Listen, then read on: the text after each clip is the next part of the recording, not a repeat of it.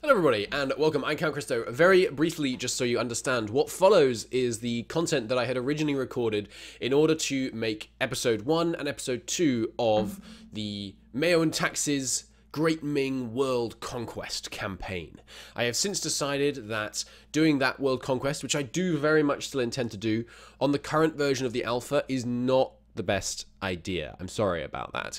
Uh, there is, however, still you know, an hour and something of what I consider quite good content. And on the community tab, people voted. They wanted to see the. Uh, God, my lungs not very good today. Sorry. The people on the community tab voted. They wanted to see the content, even if it was going to be unfinished. So I am going to release the footage. I hope you enjoy. Don't worry, there will be more MEIOU and Taxes content coming out soon, and I hope you enjoy seeing me, uh, you know, battling to unify China and experiencing the significant differences in the nature of dealing with the reforms and the estates and the army over in China rather than in Europe for once. More non-European M&T content will be coming, but for now, enjoy.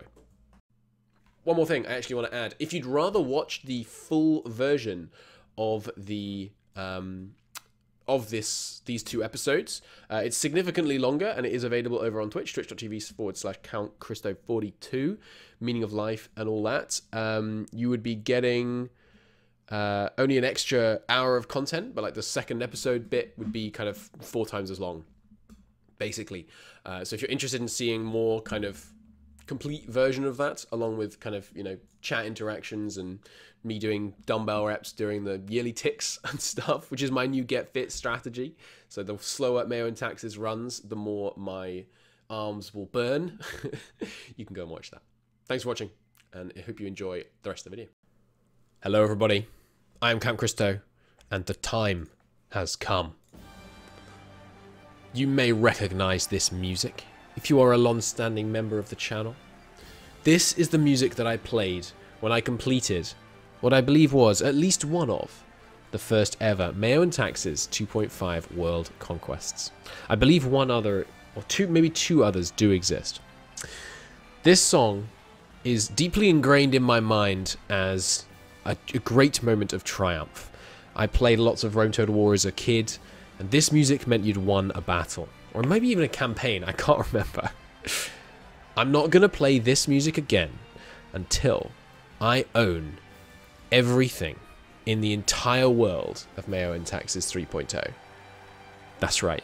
Ladies and gentlemen, today we begin the journey to do it all again.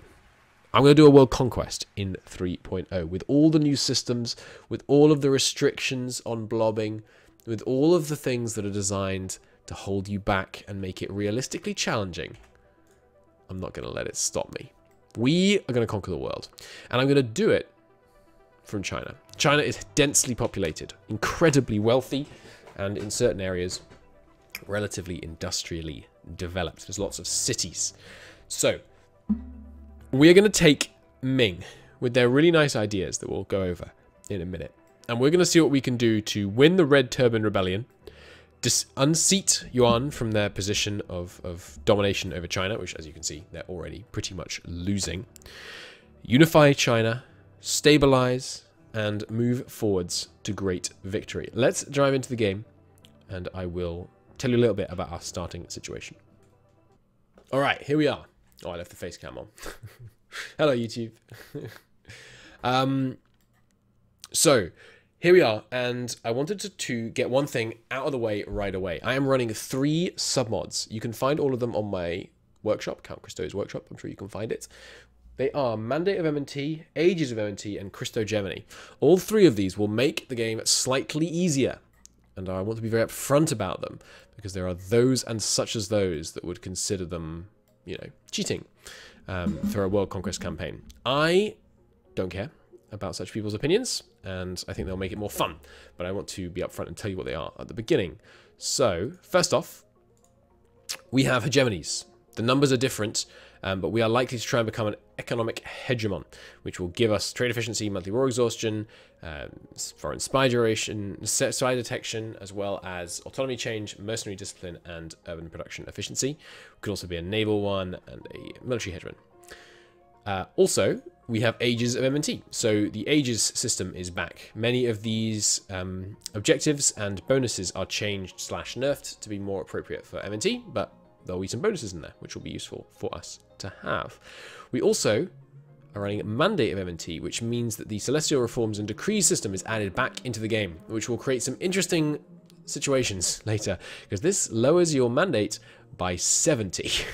and being on low mandate is horrendous. So that will uh, create some interesting dynamics there. Welcome to MEIOU and Taxes 3.0. Thank you. I will just set these up momentarily, actually. Okay, yeah, these settings all look fine. Let the game begin. Um, so, we're Ming. We're Ming. We have a development of 552. We have 66 urban development right out of the gate, which is pretty cool. Our glorious capital here in Shangyuan is uh, a 34 development capital. We already have a population of 391,000 people, more than that slightly, living in our capital city. That is pretty impressive. We have a important center of trade, large regional city, all this good stuff. Our obvious early rival is Zhao. If we can subsume, subsume them, we rapidly become the most developed person in the region. If we take a look at the development map, map mode, we have uh, the most concentrated area of development is is near us in uh, in this portion of China. If we can unify up, especially if we can unify up this kind of area, we're going to be in a good place. But can we do it? It will potentially take a few runs to get everything going. Um, I am by no means an expert at EU4 warfare. I think I'm pretty good at the um, the econ side of things and the, the blobbing side of things, but warfare is definitely not my strong suit, so we'll see what we can do. And of course, Yuan in the north needs their Celestial Empire taking off them. They don't deserve it. Let's just uh, unmark all of these. Uh, oh, assassinate Overlord. What the heck? Uh, army strength is at less than 1% of that, and total development at least 1% of that. We can assassinate our Overlord. For years, we have been valiant and loyal soldiers. We have fought long and bloody battles against Mongols, thieves, and brigands. However, our glory has risen above them. We should rule under heaven. Okay, that's cool. Unite the Middle Kingdom. We've taken the Forbidden City and destroyed the false emperors. Once more, the Middle Kingdom will be united and we have a true dynasty. Holy hell. Okay, so once we take all of China, no, once we take 135 provinces in China, um, we can become the Emperor of China. Ah, okay, this is how you do it. Become the Emperor of China, you lose the Kingdom rank, you get the Empire rank, you get 6 stability, holy hell. You enact the Celestial Empire reform, gain 20 prestige, and you use meritocracy and you can have tributary states. Okay. Uh, you also, oh my god, you lose 30 corruption and 30 bureaucratic corruption. You get a core on North China and a permanent claim on North China. Pourquoi? Why would I want both? You also get 10 centralization, you get a succession law event, and you get recently unified China for 50 years. Freaking hell. That's crazy. Oh, we get changed the name to Great Ming. I love it. Okay, that's cool. Um, does it give me a core on the land I own and a claim on the rest? If so, that's we're probably going to have to try and you know get all this land before we press the button because it would be incredibly expensive to core this land. Right, we're in the new... Uh, so, those of you who've been following the France campaign, this will be coming out after the end of the France campaign. Um, we have are on Alpha 11 now, so there's a bunch of new mechanics, one of which is the option to move our population, but we can't have tenancy-free um, peasantry to do that.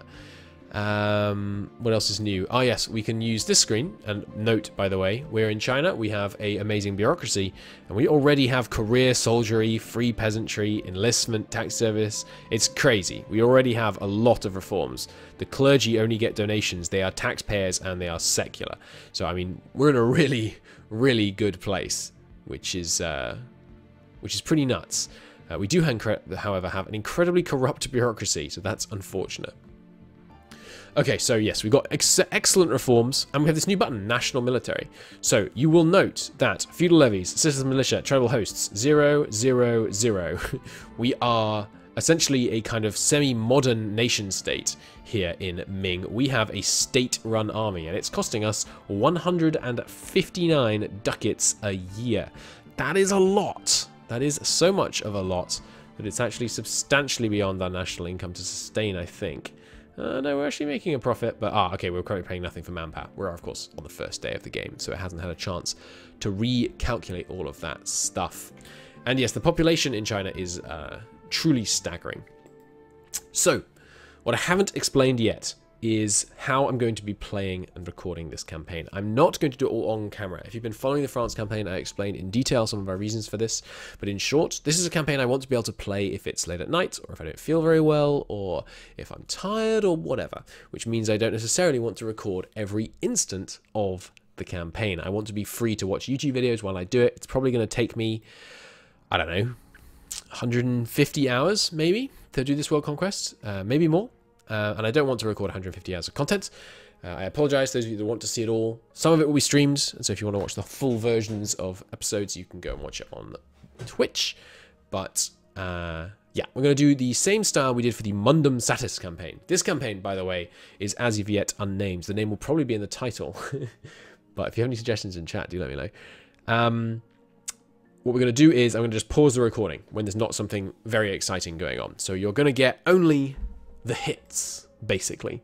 That's the idea. I'll show you major wars, uh, big reforms, big bits of progress, uh, you know, the beginning of our colonial empire, uh, institution stuff, but the, the minutia less so in this campaign. Fear not, if you really like the long form M&T content, there will be another series that will likely run parallel to this one, which will be a standard series where I just record everything. All right, that said, I'm going to take a look to winning this first war, and I don't quite know how it works. In um, in 2.5, when you took land, when you fully occupied an enemy, you just got their your cause.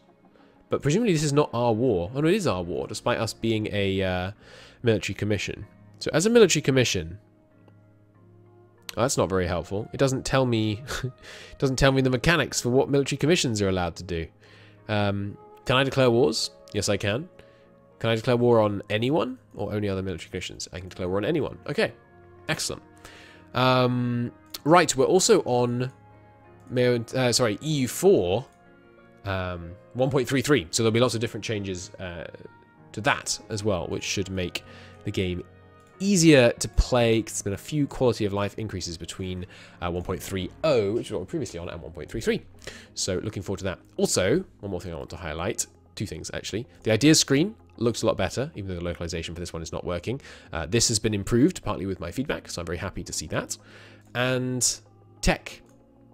We have uh, a much improved institution screen, and I can actually click on nationalism now, which is nice. Uh, and lots of these tooltips have been enhanced, so this is uh, this is much improved, and I'm, I'm very happy to see that. All right, I will be back when we see how we can work out what we're going to do about this war. Something I've just noticed. We have Tech 17. Look at this. Tech 17. We have the ability to hire cannons straight out of the gate. Well, I'm going to do that. I think we should get two cannons and some infantry. But Tech 17, holy Christ, that is that is intense. I think in M&T, and I could be wrong, it kind of makes sense to field your force limit. And then if you run out of manpower, just delete bits of it because you get um you get manpower from disbanding even though you're at zero even when you're at zero army tradition so but uh yeah being a tech 17 that's insane also uh, i should point out there's a new system for um, tech costs in this version of M&T. No longer is it just a flat penalty per institution you don't have. Instead, certain techs have certain increased costs from certain institutions. So if you wanted to take Tech 40 with no institutions at all, it starts becoming insanely expensive. like 4,000, no, I think it was 13,000 monarch points expensive. Just truly unreasonable.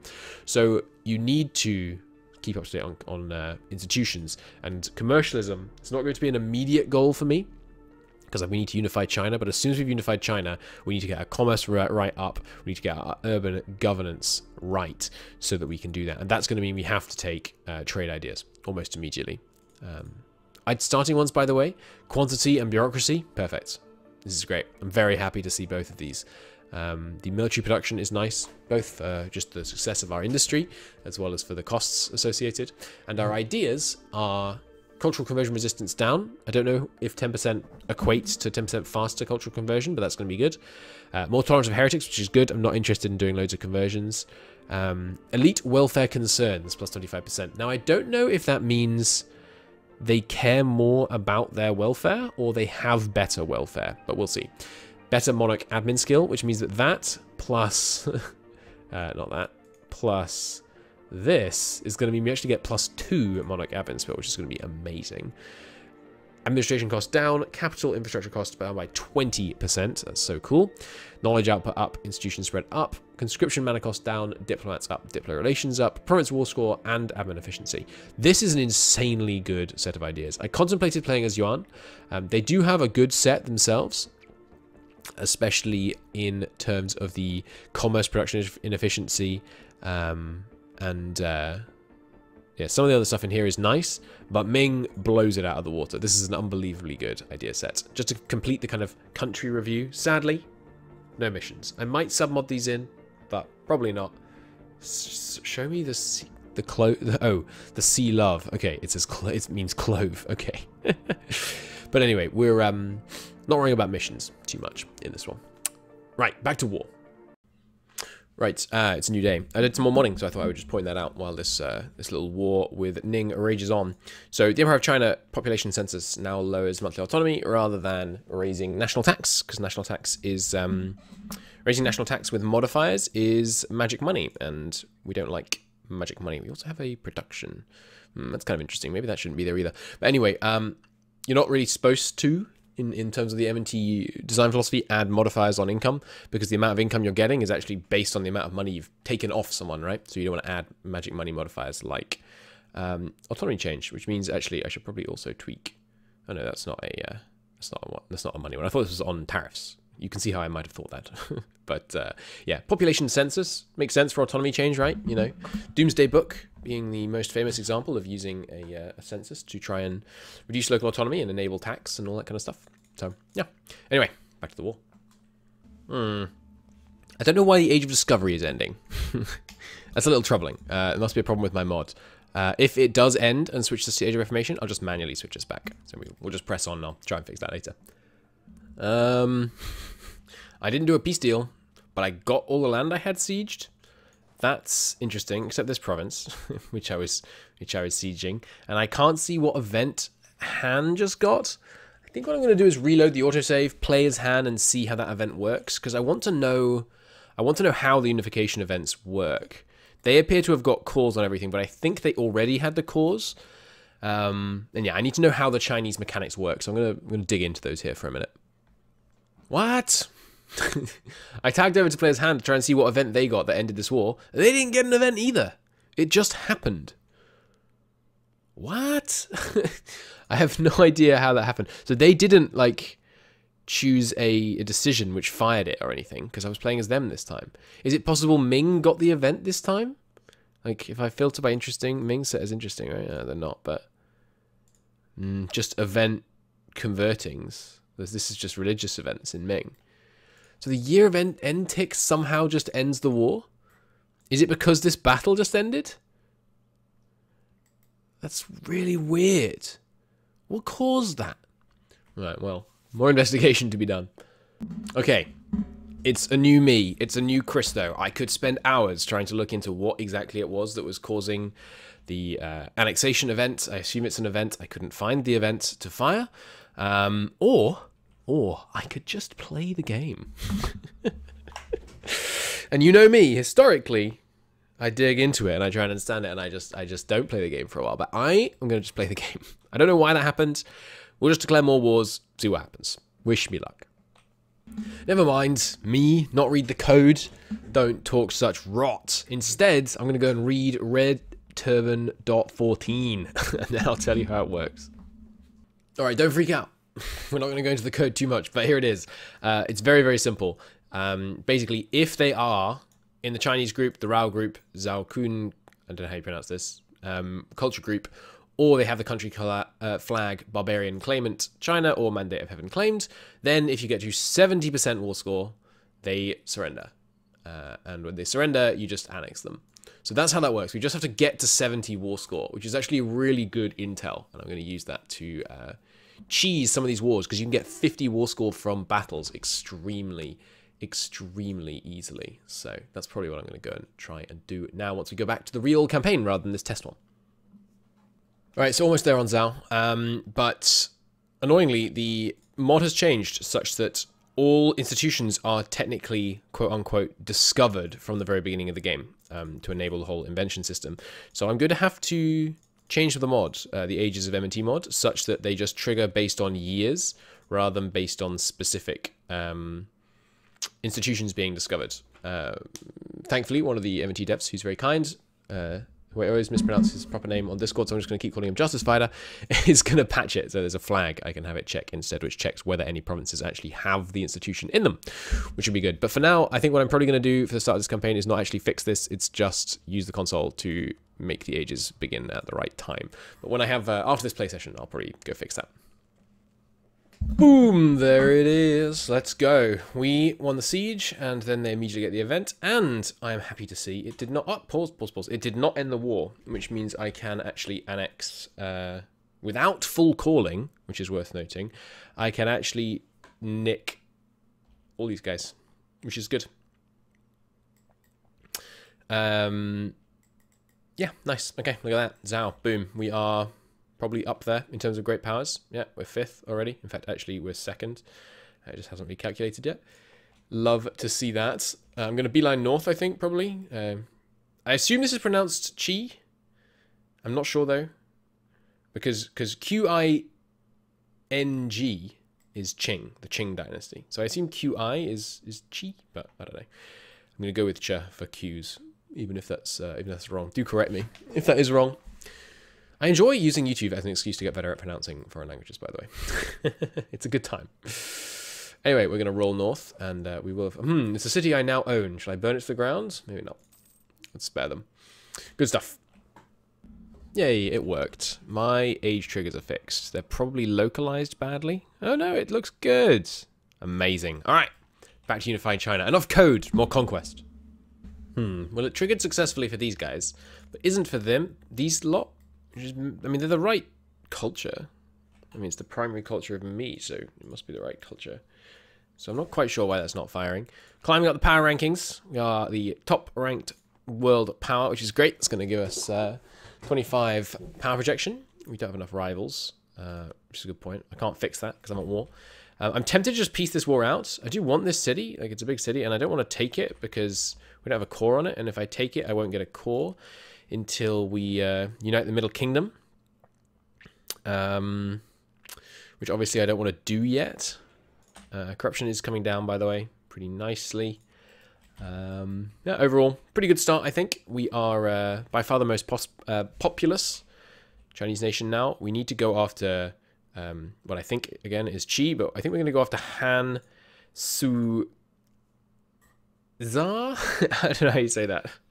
Um, first because they're smaller, and then we'll be able to do another big army levy. Because right now, these this guy plus his allies outnumbers us, um, and I'd rather not have to like allow ourselves to be sieged down while we knock out the southern lot. So I'm going to try and hammer through, um, yeah, Xi, Su, and Han first. That's the plan. I did forget that actually, because of the Middle Kingdom modifiers province has, there's a 100% local core cost reduction. So actually, let's just take them, because then I can get some money off them. We do get a tiny bit of gross expansion and stuff, but yeah, so the 15% overextension is a lot, but with that core cost reduction, oh, I just got a core on it. Okay, I guess there's another event that just gives me cores on any land I take. Uh, nice, in the Middle Kingdom, I'm assuming. Awesome, awesome, awesome. Holy crap. So our national army has recalculated. We now have 100 force of it, and that number is only going to rise. How much is that costing me? Yeah, 300 ducats. 345, more specifically. 117 on training, 228 on recruitment. I love this event, by the way. This is such a cool number to be able to get all in one place. I adore it. I adore it. I adore it. I think it was Matty in the M&T team. We, we, we have a quick look here. Yeah, pretty sure it was Matty was it Meepa? Hang on, hang on, hang on, hang on. Yeah, no, it was Matty. So thank you for that. It's amazing. Um, and yeah, I'm a massive fan of that change. We can now actually see our spending. Our books, however, are remaining extremely well balanced. Uh, less well than they were a minute ago, but getting there. Corruption continues to plummet. and uh, yeah, we're getting loads of taxes. We are spending quite a lot of points at the moment on taxes. I'm happy to do that while we unify up, and then we will uh, adjust as needed. But it's time to build a big freaking army and go and crush uh, Chi, which I think, again, still not sure about that whole pronunciation, but we'll get there. Uh, another one bites the dust. All right, looking pretty good. National Army is expanding. Looks like we maybe actually will rush this guy because the amount of war score we can get with battles is kind of insane. Although obviously that's only against the uh, the war leader. Um, so I'd probably rather use that to annex these guys. But we need to get some more of these before he snipes them. So I'm thinking we're conquering at a ungodly rate, obviously. Um, we should do some reforms because when you hurt the relations, this this number here, as hopefully most of you know now if you've been following along my series and stuff, this number here is just the sum of all of um, these numbers, right? So if we piss off the elites in this area, but then conquer this area, and we didn't piss these guys off, that in some part counteracts how annoyed they are over here. So I'm going to do a bunch of reforms uh, as quickly as I can before we finish taking over the rest of China. And I should have been doing this from day one. Um, I think we're going to start with provincial reform because it lowers administration costs. And if you look, a uh, pretty sizable quantity of our expenses are wages. Wages are um, so an administration cost is incurred by various modifiers, and then I guess the development in the province. Maybe it's the number of people. I'm not sure. And you you quote unquote pay the administration cost by paying wages to bureaucrats to administer the province, right? So there are various ways you can affect that. One is you can raise and lower wages. You want wages to be high because people are less corrupt when they're better paid, according to MEIOU and Taxes, which I think is quite funny. But anyway, they're uh, yeah, the better you pay them, the less corrupt they are. And the other way you can affect it is by having lower administration costs, because lower costs, less bureaucrats, less bureaucrats, less pay you need to give to the bureaucrats. So I think I want to do provincial reform because we get 25% less administration cost and yearly state reach and 5% admin efficiency. And I've looked through at the others. I think that is the most advantageous. We also urgently need to increase salaries, but I'm a bit reluctant to do that until we have um, full control of the country. Um, because I don't know what the costs are going to look like, especially administering lots of the kind of outer areas that are going to have likely to have high autonomy and not give us very much money. Um, I mean, there's loads of amazing stuff in here that we're going to reform because we, we start with just a crazy number of reforms, right? These are all in place. Many of these are already really good, but there's nothing to stop us getting them even better. And I think its corruption, by the way, follows the same logic as the loyalty. We want to get high corruption reforms done now because then we're only raising the corruption in this area, not the whole area we're going to control. So I think we're going to do, yeah, we're going to do some of these, and I'm going to, uh, yeah, I'm going to spend a bit of time trying to pick the most optimal one, but we're going to keep pressing ahead and doing some reforms even as we expand out here. All right, there we go. I have got central China unified. And now comes the big war, because Qi is allied to Shang Hui. Is that spelled Hui? Yue? I'm not sure. And Min. Uh, so this is going to be a bigger war. They've got 18,000, 24,000, 31,000, and 91,000 to my 148,000. And we, um, that number should rise once we levy taxes on our new Western holdings. Um, what I'm going to try and do is declare the war on Yue because they're one of the easier ones to knock out. Get a bunch of war score from battles, and then hopefully I can get 20 war score um, from occupations on them, get us to 70, occupy them. And then what you do is it transfers the war leadership. And I don't know how it picks who to send it to. It might use the old war leadership transfer system, which would send it to the strongest, which would be annoying. But if it doesn't send it to the strongest, which is obviously going to be uh, then hopefully it'll send it to these guys, and then I'll still have the 50 war score from battles, and I can just do another 20 occupation to get them, 20 occupation to get Min, 20 occupation to get uh, Chi. That's the idea. I can also wear the Imperial Crown, which I'm going to do, because it gives us an Empire title a little bit earlier, as well as um, a little bit of stability increase. Very small, very small bonus, uh, bonuses, but seems like it has no downside. So there you go. We are an Empire. Glorious. All right, things going, yeah, obviously pretty well so far. We took uh, a little bit of extra time, more than I would have wanted, to win this war here, um, because these guys got involved and started sieging stuff down. That was inconvenient, but I think we're still on good pace to be able to unify China up. Great Yuan, of course, is uh, losing all their cores in the south and uh, is pretty rubbish and not powerful at all, and they've got zero mandate, so that's pretty good. One thing we are going to have to consider is once we take the mandate, we're going to have a problem because it's going to go down fast um, because of devastation. Um, we live in a slightly devastated subcontinent. And uh, if we were to take all this land and then immediately take the mandate, we'd be left with massive devastation. So what I think I might do is unify up China, um, but then not unite the Middle Kingdom formally until devastation has gone down a bit.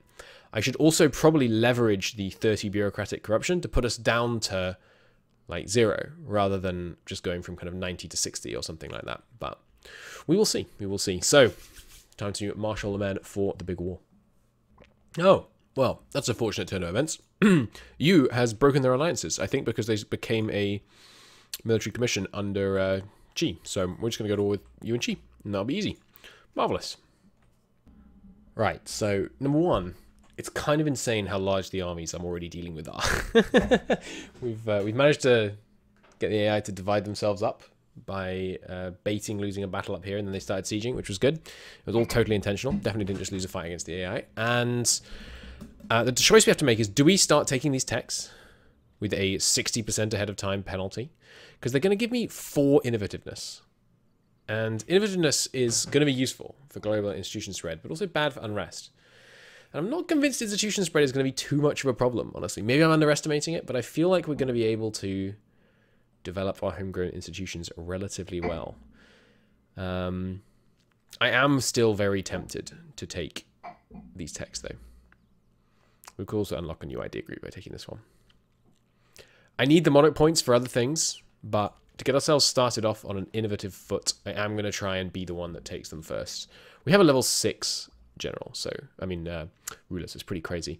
We've already got bureaucracy and quantity. question now is, what should our third idea group be? One classic, obvious option is trade ideas, because that will allow us to start getting our, our um, commercialization reforms through right of commerce, um, and that is, in fact, what we're going to do. Coming up later, though, I probably will try and take things like Scholastic and um, maybe, uh, yeah, Civic Religion's pretty good. Um, innovative, once it unlocks, is pretty good. Culture's pretty nice. Less nice than it was. Um, but still pretty good. Academic districts make you a lot of money. But yeah, start off, it's got to be trade ideas. Uh, it's kind of the only choice at this stage, I think. Um, sadly, we'll not get any innovativeness for that, but that is okay.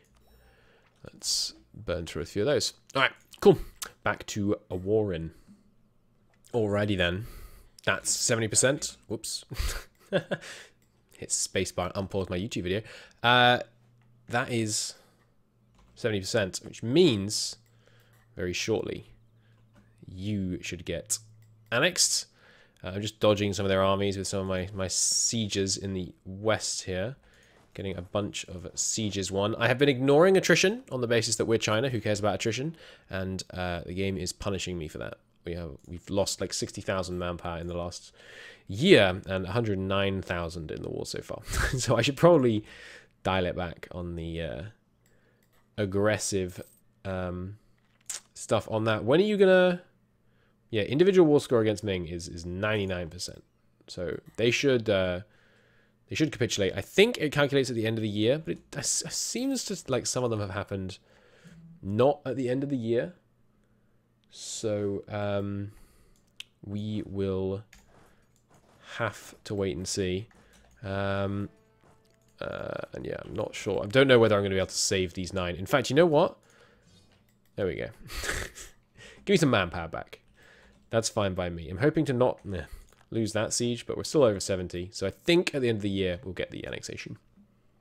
Hey, nice. There's one, and as expected, it has transferred over all of the battle score, which means that we only have to, uh, I think, wait one more year. It seems like it checks this yearly. It could be bi-yearly, I'm not sure. And then we'll get these guys. I'm just trying to stop them from looting these cities in the west, um, while also trying not to lose too much manpower in needless fights with the nation we're about to absorb. Hey, hey, forget bi-yearly. It seemed to fire twice. uh, in the same little period. So there we go. Glorious victory is mine. Now it's time for um, yeah yuan and all that. So mm, here's something I don't know. We can ooh refresh, request defection to emperor. What does this do? The emperor emperor is near. We may defect and acknowledge the emperor to protect the Middle Kingdom in alliance with the powerful True Dynasty. Neighboring country in offensive war against Ming. So if the enemy is at war with us, if someone else attacks us, we can be like, ah, no, Yuan, help. Right, well, we're obviously not doing that. Um, yeah, so Shang, Min, and Qing all need integrating. Qin, I guess, it's not Qing.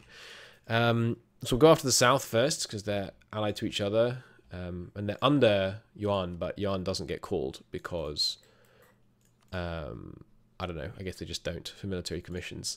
Um, and then we'll consider what we want to do with Yuan because I may have to test it. Like if we kill them before we um before we claim the Empire of China, does the Empire of China just get deleted? Because I can't even do that yet, right? Yeah, we don't quite have enough provinces um, to be able to to do this. And obviously, I don't want the Empire of China to cease existing. So we may have to avoid full annexing Yuan. It's also, I'm not certain it will actually trigger the... I've somehow screwed up this thing, by the way. I think that's my fault. Yeah, their primary culture is Mongol. Um, and I doubt they have the country flag. That means I can full annex them. So it may be that we actually have to um, manually take land off uh, off Yuan. Um, but we'll see. I expect we won't want to directly administrate lots of this land up here um, in the well, and all of this land here basically in the short term. Um, so we'll probably set up a subject up here. I don't have a plan for whether I'm going to try and be finicky with it, like making sure, excuse me, making sure that subject is a similar color to us. I do kind of like that. That's my new M&T restriction. Like subjects have to be a similar color, so we can get lots of uh, like Dai Viet would make a good subject, and Ding would make a good subject. Anyway, um, so we wouldn't want to take too much land from them basically just, uh, mm, you know, kind of these states here, I guess. But um, either way, I should be able to get you first, right? Yeah, no casus belli though, because we only just got the border, right? Anyway, we can finish unifying up China before I need to worry about that, because this this um this trauma, looking for one of the most ex extreme cases of it, it's gonna take uh you know 410 months to go away. So that's that's I mean that's a lot. Sorry. 401 months, not 410. 491. So that's I mean that's a long time. That's years. So we'll have to see. Maybe we can claim the mandate and hold it even with the the big devastation penalty. I may uh I may run tests. We'll see. Holy hell. so I finally set up the event to actually fire the burden of taxation event. I've just realized something. Number one, uh, our military power spending is 9.9. Now, I will remind you, the amount that I've told to spend is 30. Doesn't that mean that all our taxes, all our conscription taxes are like maxed? No, they're barely using it. So why... Why is it... Okay, it's maxed in quite a lot of provinces. What's the easiest way for me to see this? Uh, I guess if I go to buildings and try and build... Ooh, try and build high conscription. So it's got high conscription in all of those provinces. and it's costing me nine. Nine! That's insane. That's absolutely insane. We're doing so much. And then medium is active nowhere. And low is active nowhere. You know why it might be? I think it's because I forgot to state everywhere. Yeah, okay. It's literally doing it in everywhere that I've stated. Okay, so I need to state the rest of the country and then see if it's going to spend the rest. Because I think we're going to go to like a million manpower once I do that. Also worth noting, it's spending all the admin and dip we gave it, which is good. It's only costing us 8 dip for our current property maintenance. And we're using 10 of it on alcohol exercise. Sorry, excise. So if we look at our income breakdown, we can see that we currently get about 900 ducats from our property, and our excises give us a total of, let me just do the maths, 186. We get 186 from our excises. And the alcohol excise is about three quarters, slightly more, maybe 80% of the excise income, assuming we're getting the same amount of income per manor on each of the different salt excise, substance excise, and alcohol excise. That's really interesting.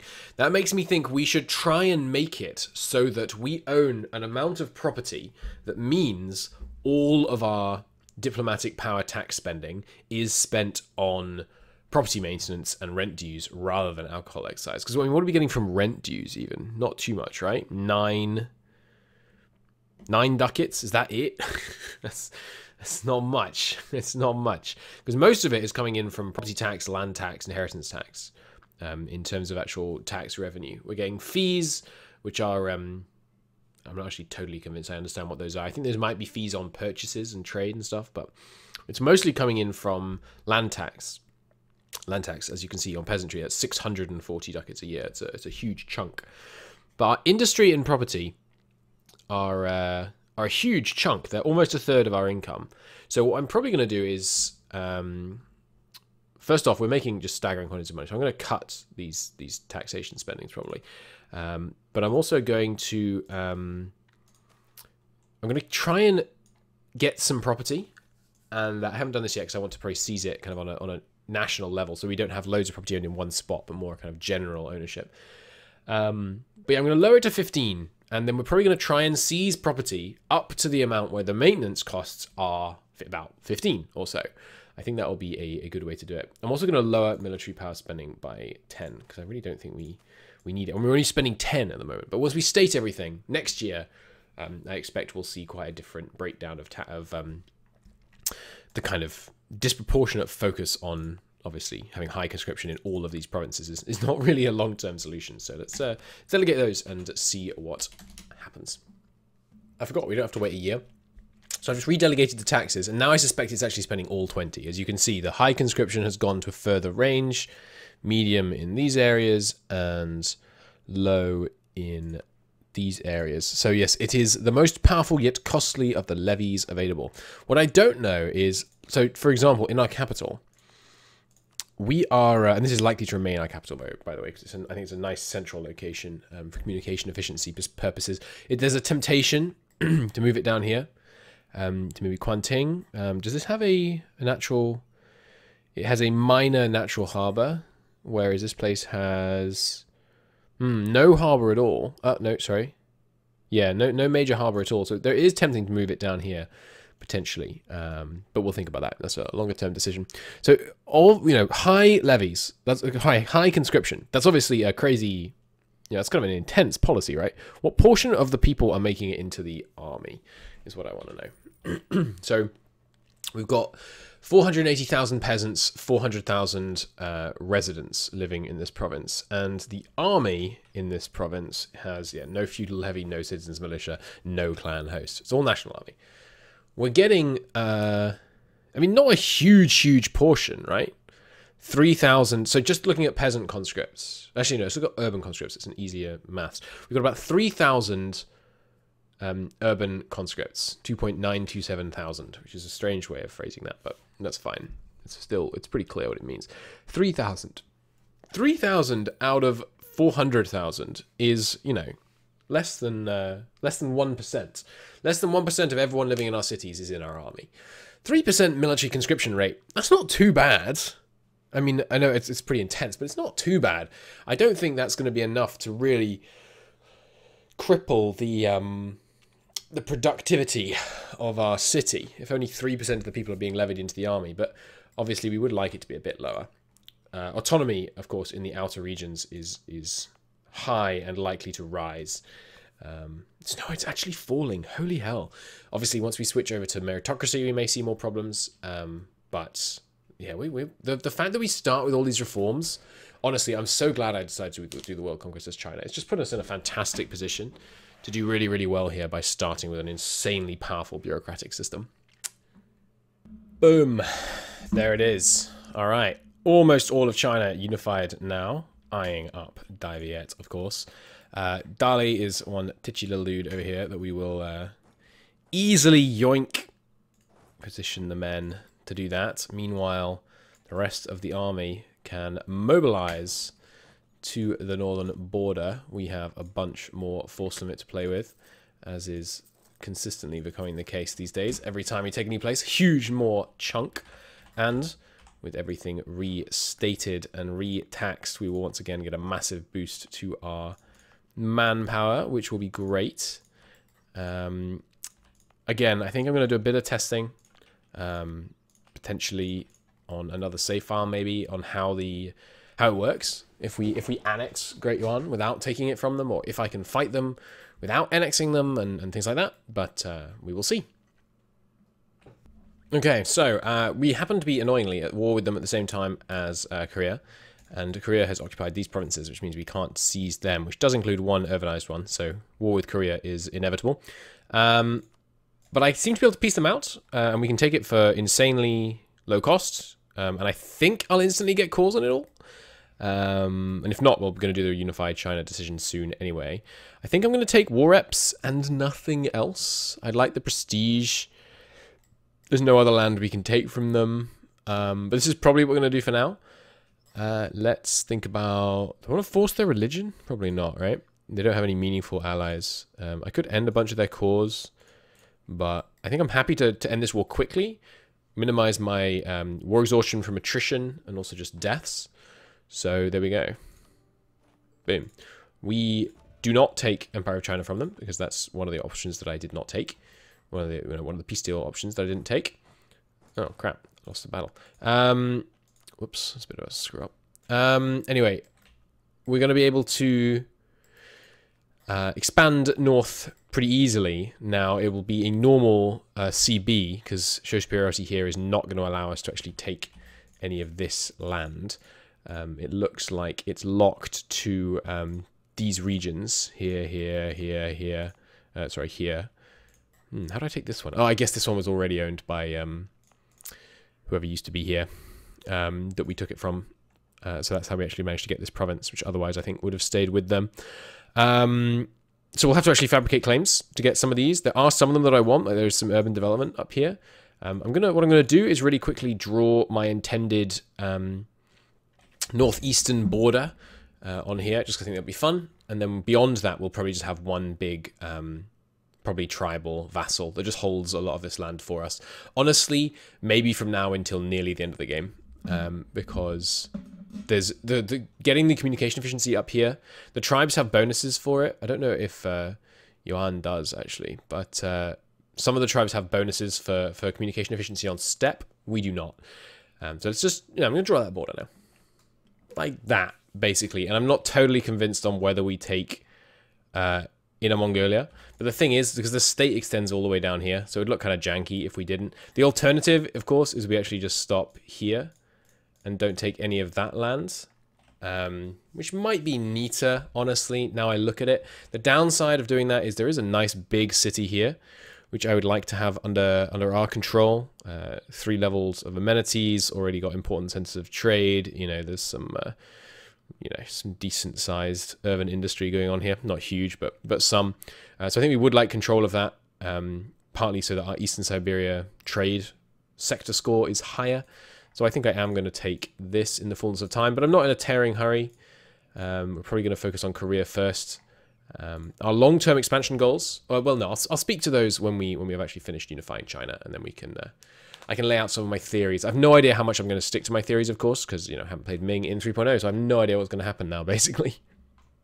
And there it is. Don't worry about this event; it's bugged. Um, so these are the last two provinces in China that we need to take. Boom. There it is. A unified Chinese subcontinent with the notable exception of these three darn provinces that Korea sieged down and then didn't even have the decency to take. But oh well. Um, so I could press this button. And I'm going to experiment with it because we have quite high bureaucratic corruption right now, which means it's trending down. I've been continuing to do reforms and things. Um, I think the latest one I did was uh, increasing the uh, the official wages a little bit, which will of course cut into my bottom line. Yep, there you go. Wages skyrocketing already. Um, but we're still making a uh, a tiny bit of money. But yeah, we need to desperately not let wages uh, get any higher, and we need to urgently decrease corruption because it's extremely expensive. Um, I've also noticed that um, we are now spending all of our um, all of the diplo points on property maintenance now that we've actually fleshed it out to uh, to include all of these new wonderful provinces that we've recently integrated into the empire. Um, but I think this this, sorry, this event is annoying me. Let me let me finish this spiel once I've got rid of this event. okay, so as I was saying, as if I'm just carrying on a conversation when I got rid of an event rather than having had dinner since I last spoke to you. But anyway, as I was saying, we have unified all of China, and it's time to start thinking about our outward expansion. To the purpose of this great goal, I have built 60 transport ships, which may give you some indication of what my plans are. I think there are a few essential steps to do in this world conquest to set the right foundation for us to begin expanding. Uh, one of them is we have to embrace commercialism and we have to do it as a matter of urgency. In order to do that, urban governance has to not be three and commerce right has to be eight or higher. We can start going towards eight once we unlock the right of commerce, which we are pretty much beelining. and then I will start raising up this um, stat here, which is going to require me to support the metropolitan estates a bunch uh, because they're not powerful enough. We're going to need to align the cabinets with them a bunch. It's going to cost us um, all kinds of problems. Um, but we're going to do what we can do. See what we can do, rather. To try and support the burghers as much as we can. Um, that's step one. Step two is I need to um, establish a, a solid income base. Obviously, we're already making loads of money. Excuse me. But there is a lot more to be made. One, by getting way lower corruption, and we're going to keep reforming the administration. I think the, the appropriate approach is to try and hard reform the administration early. and the logic behind that is I want to stop. I want to be able to stop reforming the administration because I want it to be done. So we're going to push towards getting all of the reforms we want, getting rid of all of the noble privileges, and um, getting the bureaucracy fully, not fully, because I, I realized, by the way, um, one thing we definitely don't want to increase too much more is wages. Our wages went up quite dramatically. Um, not unsurprisingly, I took away a minus 80% modifier and replaced it by the minus 60%. So, you know, we doubled the wages. Uh, we're not going to increase wages too much, too, too much more than that. But what I am going to do is try and get basically all the rest of these reforms passed as soon as possible. Uh, that will allow us to have a um, really solid base from which to expand on. And once we've done that, I'm going to try and crush our uh, our corruption. But there is one step I can take right now to crush that corruption, which is to unite the Middle Kingdom, which I am going to do now. Um, I am going to save first um, because I don't know what it's going to, you know, it might break or whatever. But uh, we're going to do that at the end of the very first episode we're going to unite the Middle Kingdom. By the way, um, I'm playing, uh, what's it called? Bronze Man. So we're not going to reload unless we needed to, like, test something or, or make sure a mechanic works or whatever. I'm obviously not going to play actual Iron Man because it will, you know, the mod requires tweaking occasionally. Um, so we have all of this area owned except for these three provinces. Um, if we have to core these three provinces, it's not the end of the world. Um, I mean, it's annoying, but uh, what would it cost us? 191 admin power. Oh my god. Hopefully it would be actually less than that. But um, I suspect we might still have the Unified China CB. Um, I don't know. Maybe maybe I shouldn't. Maybe I shouldn't declare this war. Actually, it's Unify China though, right? It's not claim the mandate of heaven or whatever. But yes, we are Ming Yuan has been banished to the steppe, and we are ready to unite the Middle Kingdom. We gain 6 stability and 20 prestige. Ah, so I should actually definitely try and lose some more stability first. Is there any way I can do that? Hang on. You know, I'm, I'm thinking about something else. You know what I did not notice at all? These higher levels require one of the following. Trade ideas, bureaucracy ideas, or bureaucracy burgher average power. But then they all also require metropolitan influence. So we actually didn't need to take trade ideas, which is kind of annoying because now I'm going to get crap tons of merchants that I don't need. Commerce production and efficiency down is good. That's kind of it. That's the only useful thing in here. That's kind of annoying. Um, I'm tempted to abandon this idea group and just raise the uh, the burgher's influence instead. I think we don't abandon it now, but in the future, when I have a surplus of some kind of monarch point, I'm going to abandon this and replace it because we need evangelical ideas urgently for Empire of Truth. Empire of Truth is going to give us a CB on essentially everyone in the world. Um, we need scholastic ideas, I need civil religion ideas, I need want administrative ideas. There's lots of stuff we need, and if we can get commercialism the other way, but because commercialism is such a high priority, I am going to keep trade ideas for now um, and, and put extra points into it. I have found two ways to lower my stability. By the way, we're going to um, support the burghers uh, by aligning the cabinet. It's going to cost us one stability. Um, and also give them some more power, which is actually a good thing, I think, because um, I need to. I want to try and empower and enrich the burghers a bit, get some industrialization going with, uh, you know, local money, um, and we're also going to reform the administration by um, doing this one, by lowering the elite power from autonomy, which will help weaken the nobility um, but it will cost us a stability, which should be good. And actually, I can do that right now. I've just realized. I was waiting until I'd saved up enough that I could afford to do that. It's one provincial corruption. The other one I was considering was... Yeah, so we actually... Our state reach has dropped just because the state reach here was higher than the state reach in, you know, the rest of the country. So we are going to have to raise the state reach up, back, up, up, back up again, but that's okay. So yes, we will facilitate open recruitment for examinations, which means uh, you know, hiring people less because of birth, but more because of talents, which of course destabilizes the country. And then we will support the burghers by aligning the cabinet, which gives us relations with them. They get more power, we get worse stability, increased interval, and we also lose some stability. And now we unite the Middle Kingdom. Ming becomes the empire, emperor of China. We enact Celestial Empire. Oh, it's true, we haven't actually looked at our government reforms yet. What do we got? Dynastic does nothing. Primary spouse has okay. We have consorts. Sorry, this does do something. Dynastic enact harem and yeah, yeah has consorts harem fixed dynasty. Cool.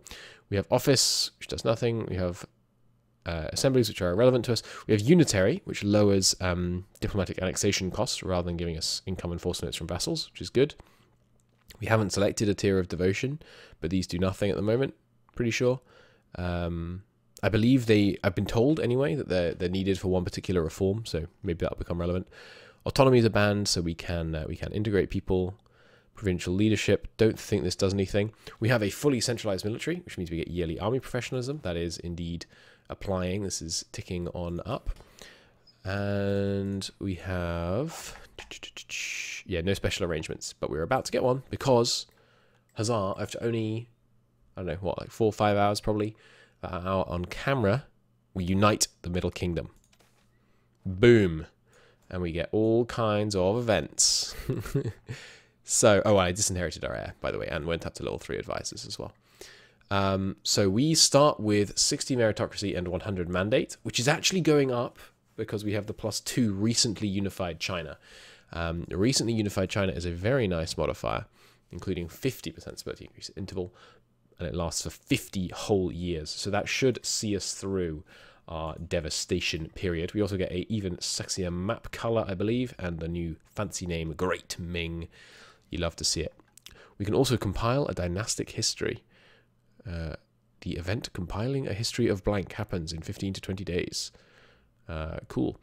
Um, and yeah, restoration of the tribute and the succession law. So I'm going to read into these before I pick because they're um, they're kind of a big deal.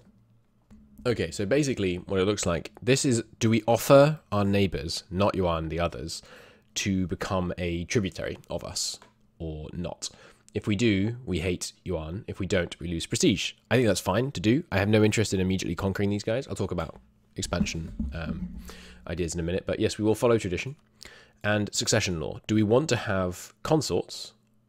Um, basically, do we want to have a harem? Or not. The advantage of a harem is you can pick an heir. The disadvantage is there's you know some harem events. Um, there's various different things that can go wrong, but I think having a harem is going to be really good because it will allow us to pick an heir, um, which means we'll be able to get better stats. So we're going to go with appointing an heir is best, which will enact the um, yeah primary spouse, harem and primary spouse. Excuse me, I thought I was going to get harem and primary spouse. Ah, but this one, enact harem and primary spouse. Yes, this has not enacted harem and primary spouse. That's weird. Um, maybe it will correct on the monthly tick. Let's uh, let's find out. Uh, oh yeah, we have a new decision. The dynastic history. Well, I'm not going to spend 200 admin on that before I figure out what it does. Also, we can enact decrees. So our meritocracy is going up. Um, we have positive mandate, which helps it. We have power projection, and we have faction support. So faction support comes from um, loyalty of factions. I'm surprised it's so positive, actually. I'm not exactly sure why we're getting such a positive amount from that, but uh, yeah, I mean, don't complain. And we also, of course, have access to the Empire of China mechanics. So these are ones that I've modded, sub-modded in. We can get core creation costs down, autonomy change down, provincial trade power, ship durability, fort defense, or infantry combat. Each of them costs us 20 meritocracy, and you get it for 10 years. So basically, you spend two meritocracy a year in order to get one of these things. We're only gaining under two a year, so I'm going to let meritocracy rise to 100 before we actually uh, fire off any of these.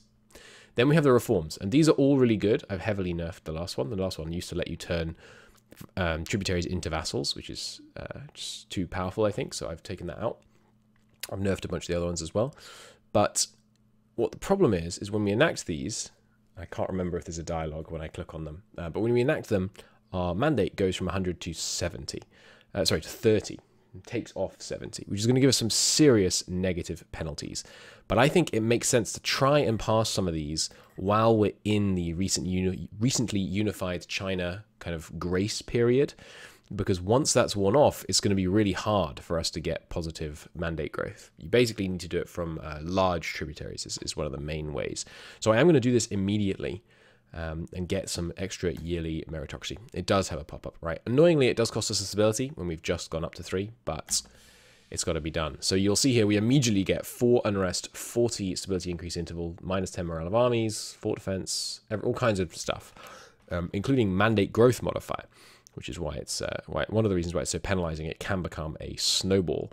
But if we can get rid of that devastation, which obviously will just happen over time, as well as the recent unified modifier helping, um, I have deleted all my forts, which it now occurs to me might have been a bad idea. Um, oh no, forts don't recluse, uh, don't reduce trauma in the mod. Okay, cool. But yeah, I've, I've torn down the forts all over the central section of China because I don't expect to have to fight any wars that are at all difficult, basically, from here on out in terms of us actually getting sieged. And yeah, I don't want to do any of these, so I will get rid of that alert. Okay, that's some internal politicking going on. The other thing I'm going to do off camera is look around, pick basically one one or two cities per state and I'm going to try and start developing a little bit of uh, urban development there. I'm going to um, open a whole host of new industries, mostly higher education in basically every city in the country, in order to try and move us towards uh, yeah, getting better education output. It's a good trade good, and um, it will help with later institutions as well. So let's talk about conquest. I have no idea how difficult this is going to be. I don't know what pace I need to maintain.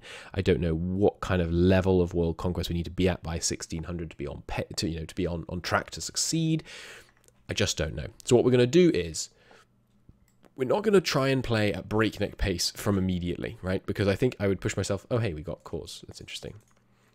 Cause on that one and claims on this one. I wonder why only on some of them. Is it because they were currently coring this one? Seems unlikely, right? Anyway, um, we're going to try and grow relatively quickly and also just enjoy the game. We just know that our end goal is try and conquer everything. So what's step one for trying to conquer everything? It's build a rock solid economy. Number one, open a bunch of industries. Number two, activate the auto investor. I've done that. We're putting 10% of our income into the auto investor every year. 10% of our treasury, sorry. Now, um, beyond that, we need access to more trade markets. I need the ability to connect to new nodes.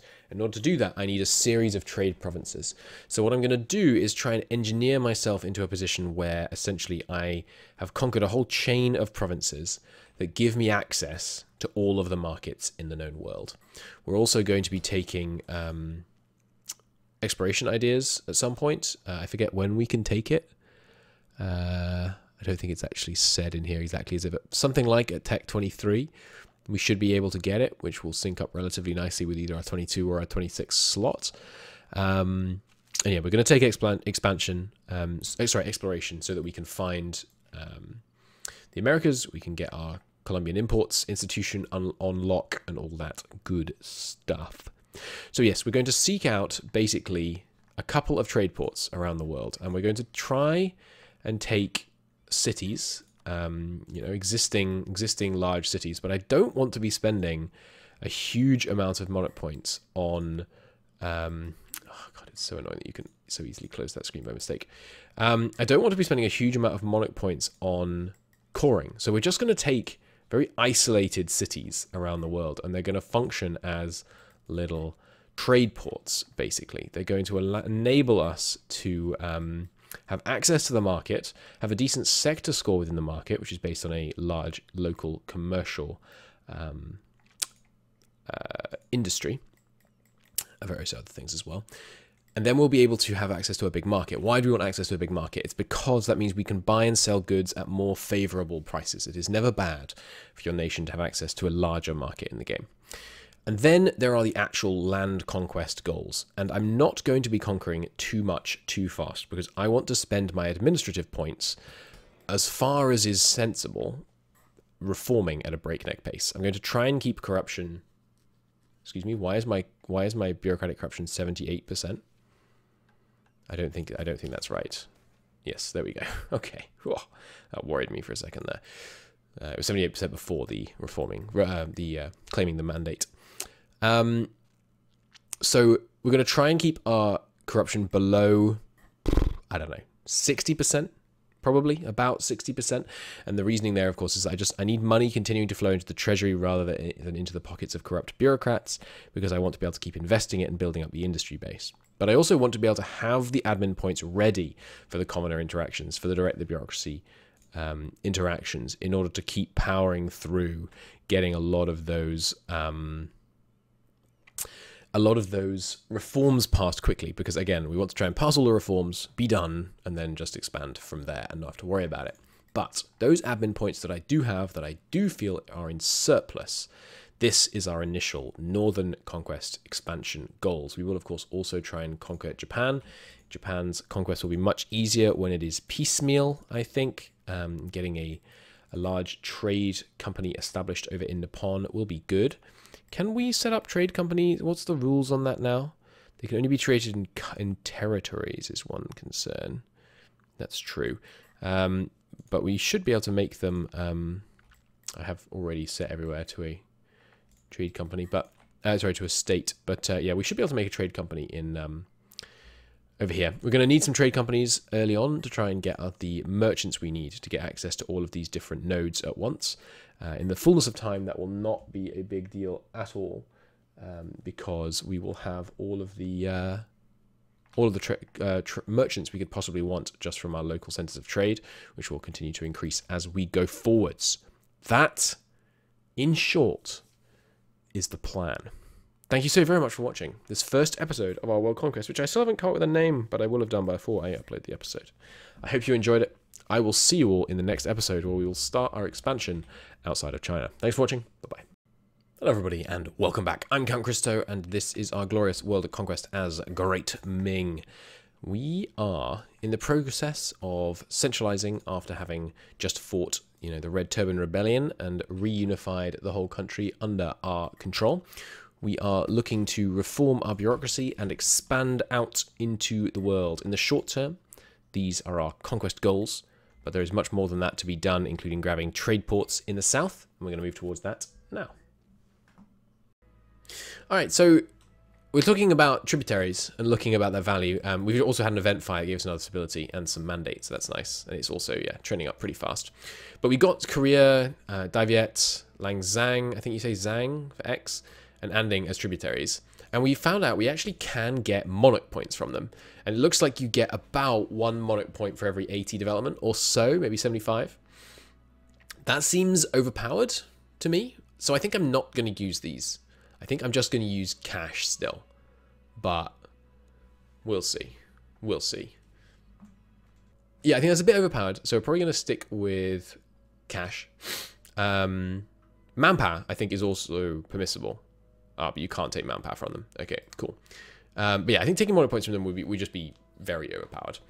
Um, so instead, we're going to take cash. But the reason we want these tributaries is because, as you should be able to see in here now, yeah, we're getting 0.08 from tributaries. It's something like one per 100 development in tributaries, basically. So we want to take little noodly appendages out into the world. So this is the first province that I'm going to target. Um, we take little provinces out into the world which let us um, touch more nations because you need to be in direct contact with a nation in order to make them a tributary. Ah, and there is the forced tributary state, CB. Does that allow us to take land? 50% expressive expansion and 50% cost for the conquest of provinces. That is so powerful. Can I use this on anyone? Who can I use the forced tributary state CB on? Because that is, I mean, that's kind of mental. Can I just use it on anyone I border? We, we don't need to take religious ideas if that's the case. That would be, that would be nuts. All right, you guys, come on over here. Change your plan. We're going to war immediately.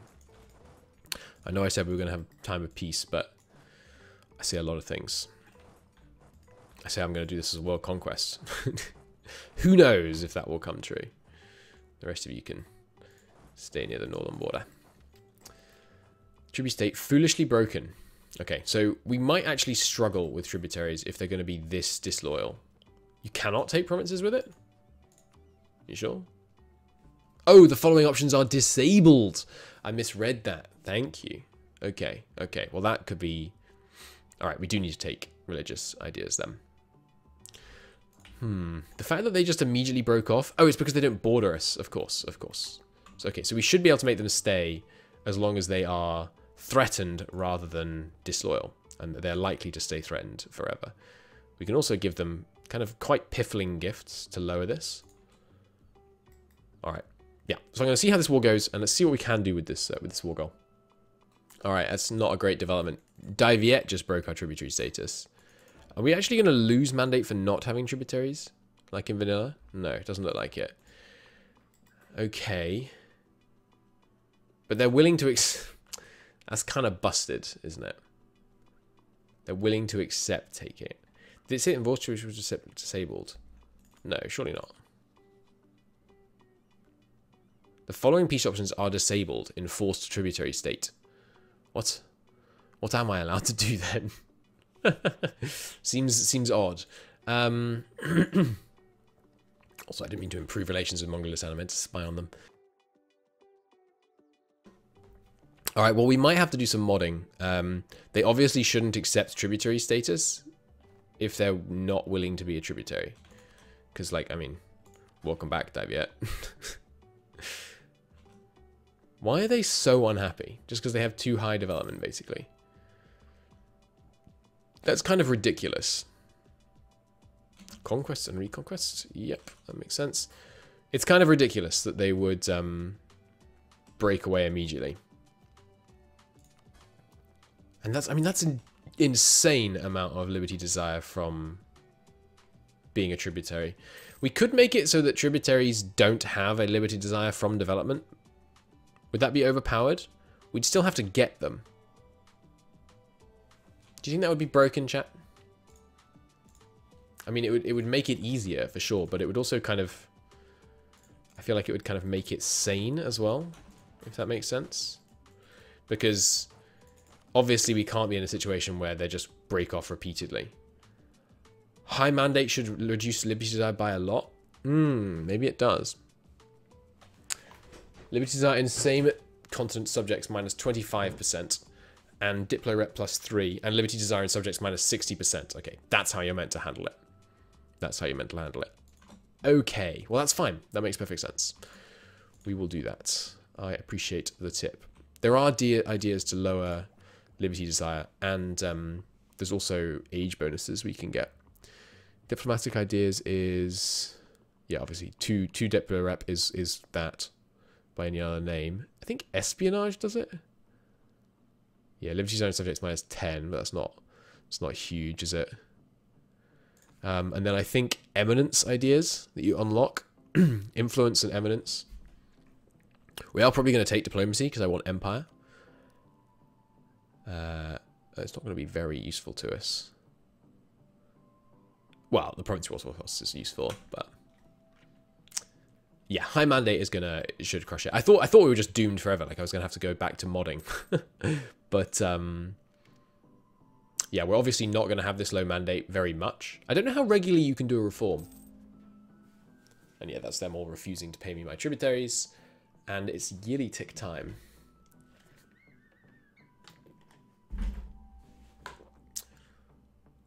Can I zoom in on my chat? Participants. No. Timestamps, feedback. Don't really need any of that. I'm sure there is a way for me to zoom in on this. Hey, not too bad a yearly tick. So yeah, we're currently spending 20 on mill, 20 on dip, and 14 on admin. Investments. so it's invested... Wow, it's invested a thousand all in this province, huh? it's put 1,300 ducats into this province. In forestry. Okay.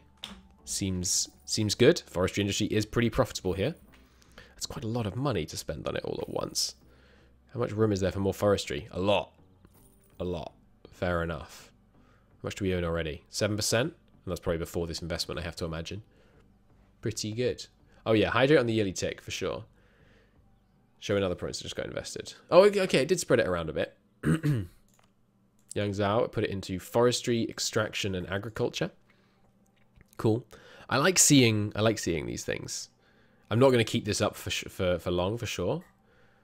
But uh, click the social cycle to another selected province, even if no investment has happened. Why would you want that? Daming, another 1300 invested up here. I think we're doing 50% of our income every five years.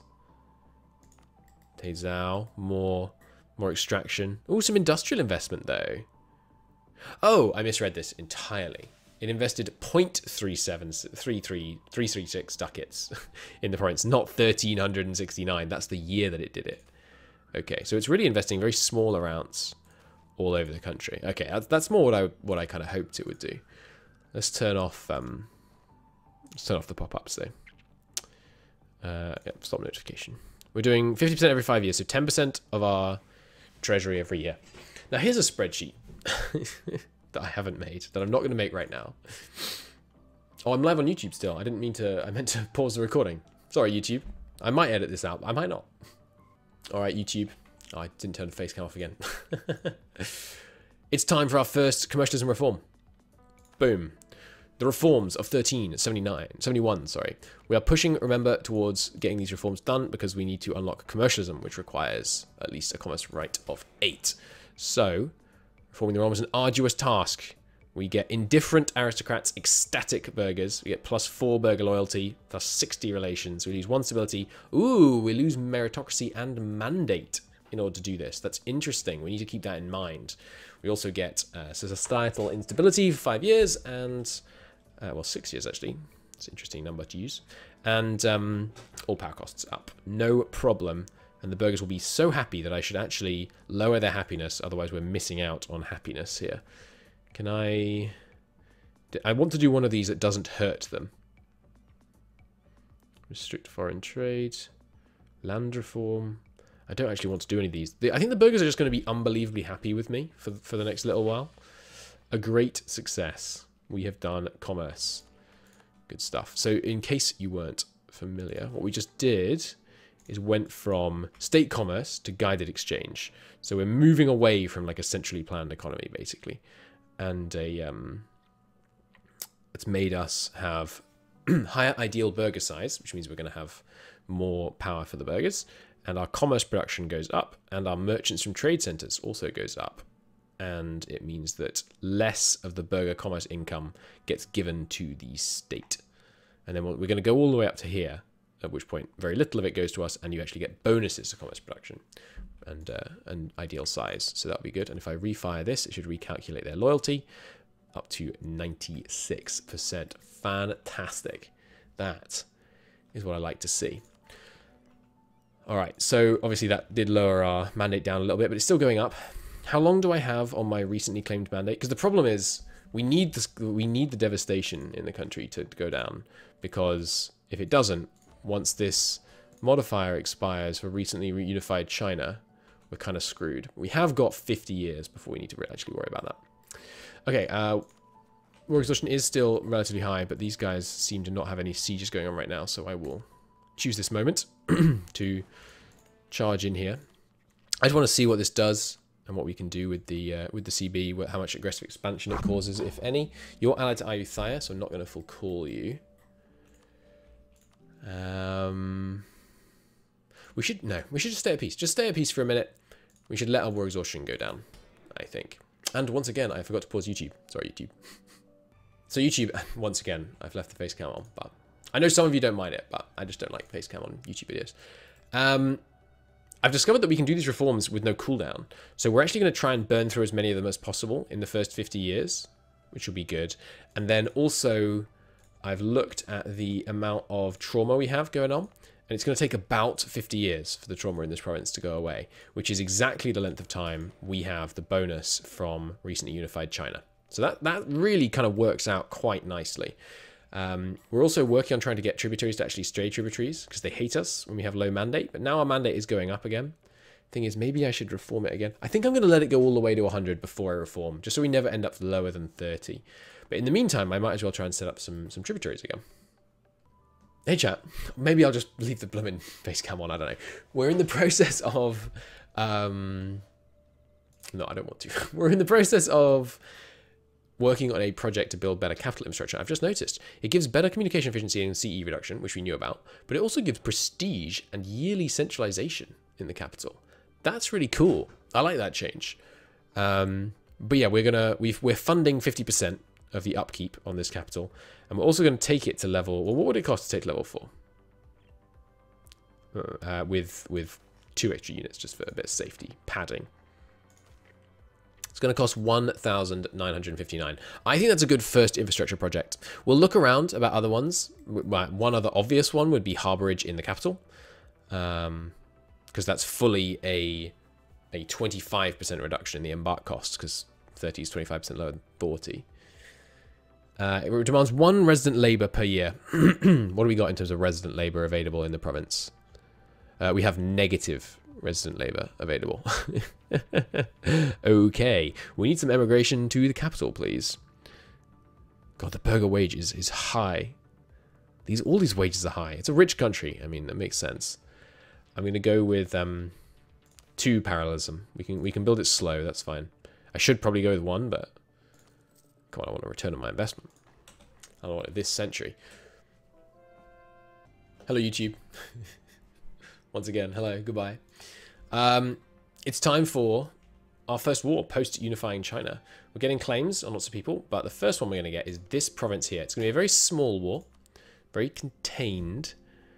We just want to take one province so that I border via right here Mongolistan, and then we can make Mongolistan a subject of ours, which will be useful because it means, and I can, I can afford to get plenty of generals here. Um, it means that I will be able to, yeah, border Mongolistan, make them a tributary. Whoops, I think I screwed that up. There we go. Border Mongolistan, make them a tributary, and um, get more mandate by doing that, which should be nice. We are also managing to um, establish some more tributaries around the place as we go, but I am going to take some more land from these guys before I uh, for allow them tributary status. But there we go. Quite a big war. Lots of people joined in, but I'm not scared. We are staggeringly populous. We found out we have 78 million people in the country, by the way. Pretty crazy. Eee, made a little error. so we're doing this war. This war went fine, by the way. I took this province, and now we're going to be able to uh, tributary Mongolistan. But we're sieging down Tumed, which is the remains of the broken Yuan. They they shattered in a tribal war. I'm sure that's event driven. Um, and this is the city I wanted from them. It had some nice little infrastructure. One little misclick, and I burnt it to the ground. I didn't mean to do that. I didn't mean to do that. Um, but oh well. Oh well. Bollocks. That's, uh, it's inconvenient. It's inconvenient is what that is. We've also decided that these are the borders we're going to go for so that we can touch Oirat and therefore make them our um, tributary as well. My bad. Okay, hear me out. I have a crazy idea. We need some higher education because as we get towards casual literacy, for example, you need a certain amount of knowledge production in a province to get it to invent. And then you also need a certain amount of knowledge production to actually get it to spread. So, how about we just go completely nuts?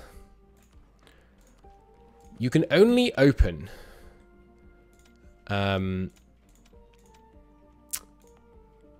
higher education industries in provinces that have certain things, which I believe are higher education. 10,000 urban pop. How about if we just... Um, how about if we just try and open it everywhere? What do you reckon? I think it's I think it's not a terrible idea. How much is 10,000 urban population? I mean, do we just have that everywhere? I don't think so.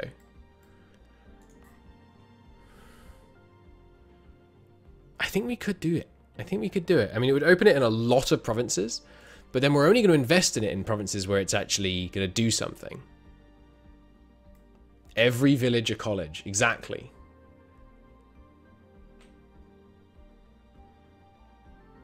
I'm tempted. Just to, because just we just like we have lots of money. Hey China, be smart. Boom.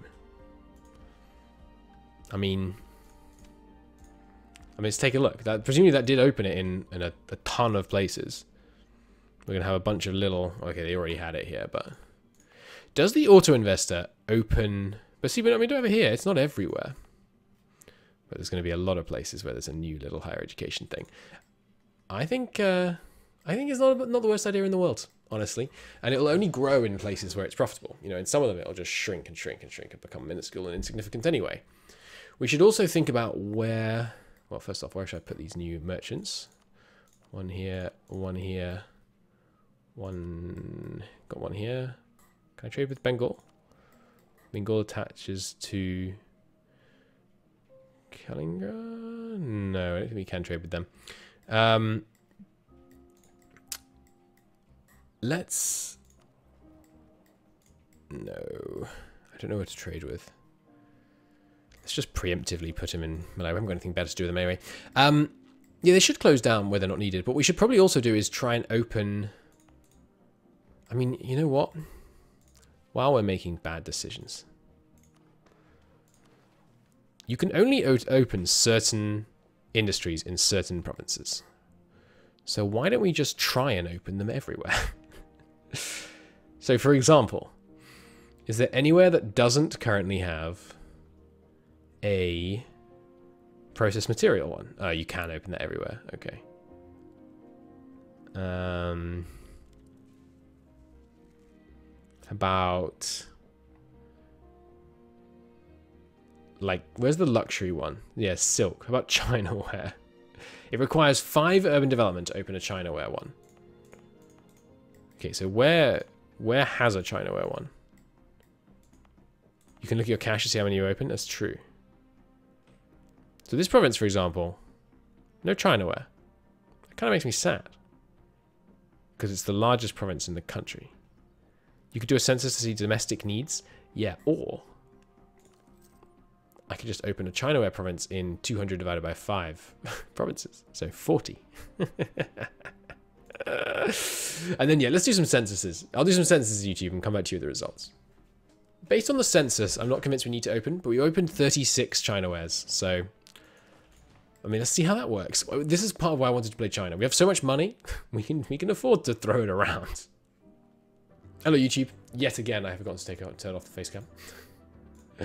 Alright, thus marks the end of our initial period of warfare as Great Ming. We have established tributary states to the north, seized some of the tribal land to create a nice buffer between us and the Oirat.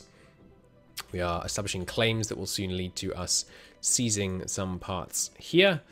Um, and we are preparing our navy for an expedition round here. I'm going to go through the Shan states in order to get to India.